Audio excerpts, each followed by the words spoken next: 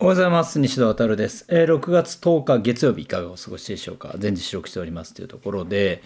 えっ、と、今日、明日からかな？明日から大阪で、まあちょっと撮影してみようかなと。まあ明日から行って金曜日まで、ちょっと4日間ぐらいブラッと撮影してみようかなと思ってます。まあ大体レンズは、まあ M11 モノクロで撮影しようと思って、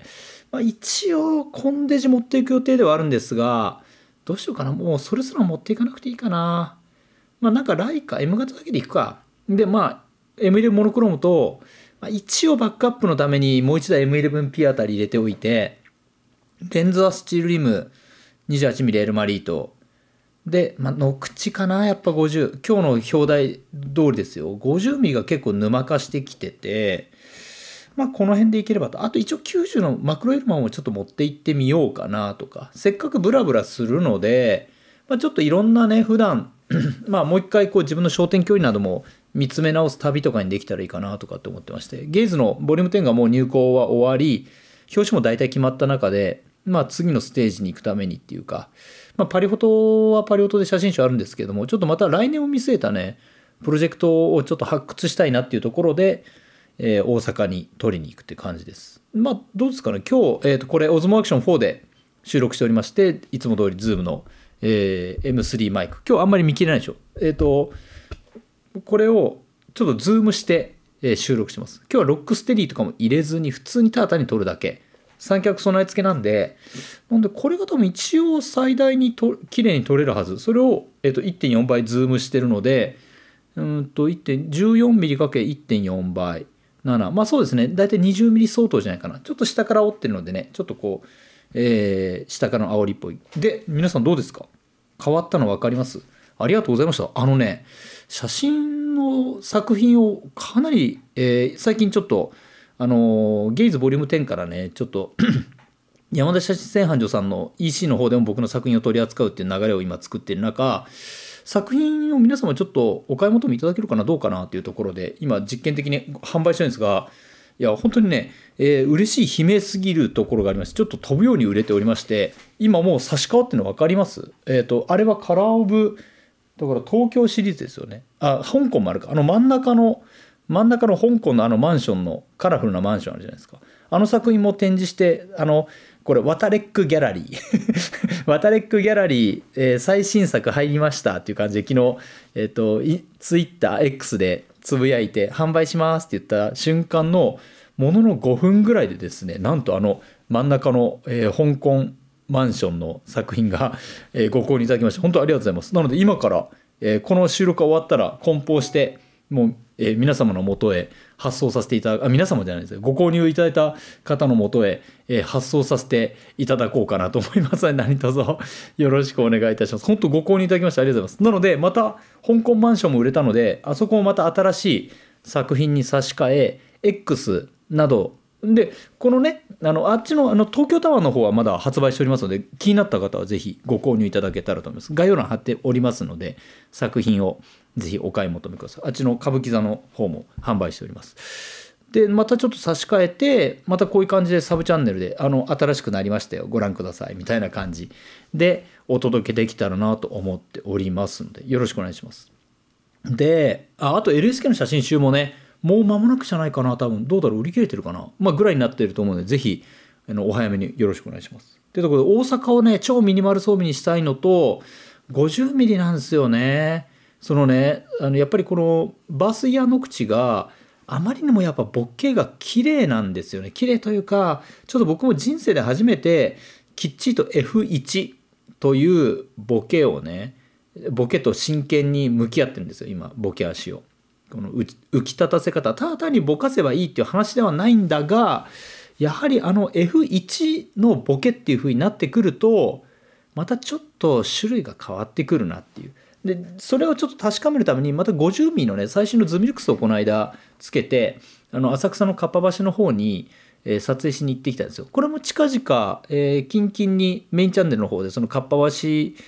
えー道具屋筋あたりをスナップした模様もお届けすると思いますのでそこでまあ作品もねご覧いただけたらと思うんですがまあ最新のズミルクスで開放 F1.4 でねあのまあ撮影とかもしてきているんですけれどもやっぱ改めてねうんまあもちろん開放 F1.4 から芯を食ったとか綺麗にあのまあ、改造するしっていう。ただこれがね結構隅々まで改造するっていう行為自体が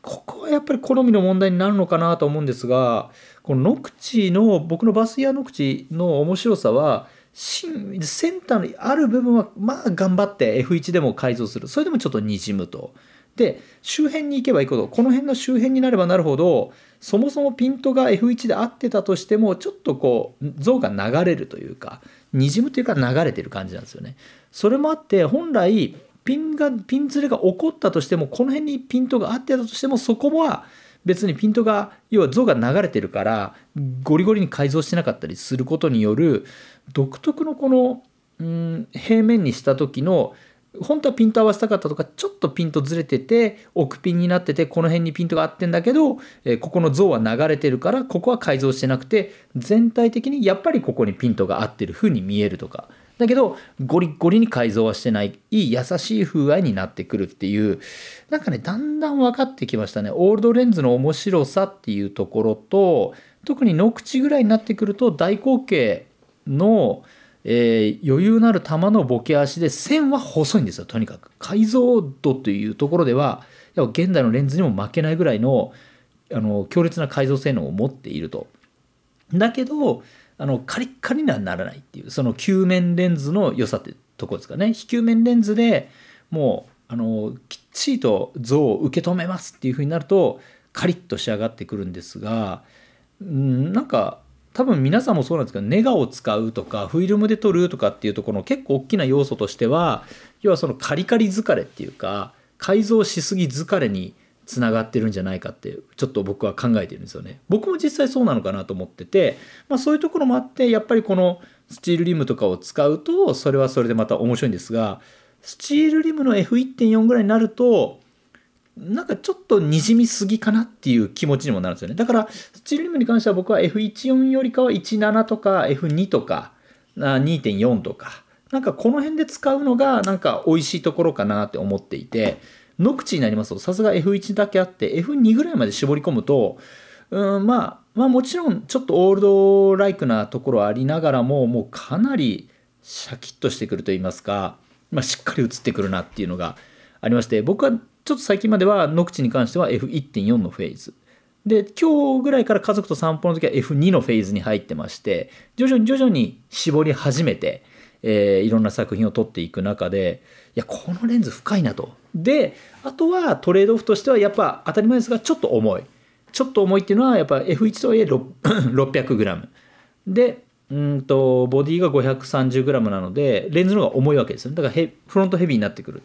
まあ、だからあとはそれをどういうふうに支えていくかっていうか終日持ち歩いた時にどうなるかとかでもノクチだと多分多分何て言うのかな自分の なんか愛着とかそういう思いとかもすごく強すぎるはゆえにその重さが嫌にならないっていうその部分はちょっとやっぱりバイアスかかっちゃいますよね。だからそれだけ何て言うのかな自分もガツンと水に切って買ってるしでその上でやっぱり写りもやっぱり明らかにこのボケ足っていうとかを違うな面白いなっていうところで唯一無二だからこのレンズでしか出せない表現やっぱあるかと。アポ済みとかももちろんきっちり写って面白いんですけど今ちょっとじゃあアポ済みで代用するかっていうのも悪くないがやっぱノクチのあの F1.4 F1 F1 か F1.4 のあのあの辺の描写っていうのがなんか恋しくなっちゃうというか失礼。でデータを触った時もいや、うん、やっぱまあ新鮮に映ってるからかもしれませんがノクチ疲れとかノクチちょっとあノクチ表現